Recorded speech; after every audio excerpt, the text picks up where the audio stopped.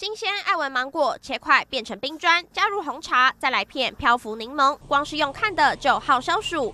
手摇饮品牌首创冰淋技术，保留水果营养和膳食纤维，喝一口满嘴果香。是因为天天真的是热到炸掉，所以才过来的。水果比较健康吧，所以想要喝手摇饮，减少那一点罪恶感。我今天就点它的那个芒果。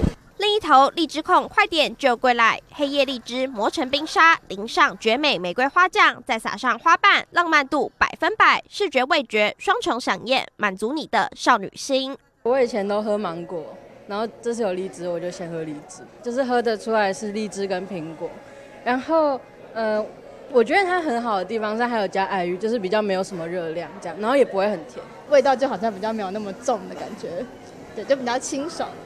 高温热浪来袭，抢搭酷暑商机，水果大战先开打。大院子用当季荔枝制成饮品，还携手故宫博物院联名限定 Q 版唐代仕女图杯款，可不可熟成红茶、新鲜芒果、尬柠檬，清爽一下。发发则是把招牌优格变身成奶盖，搭配百香果、芒果等酸甜水果，每一口都能喝到咸甜奶盖结合清新果香。数天内已经有破万杯的左右，对，加上我们在八月十号的时候会推出跟故宫联名联名的蝴蝶酥荔枝蝴蝶酥，将近会带动我们两成以上的业绩成长。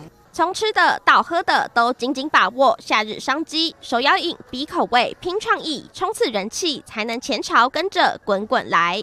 环宇新闻林博汉、黄轩轩台北采访报道。最具爆点的政治内幕，攸关荷包的财经动态，解析社会万象，探讨国际大事。周一到周五晚间十点，请锁定环宇一把抓。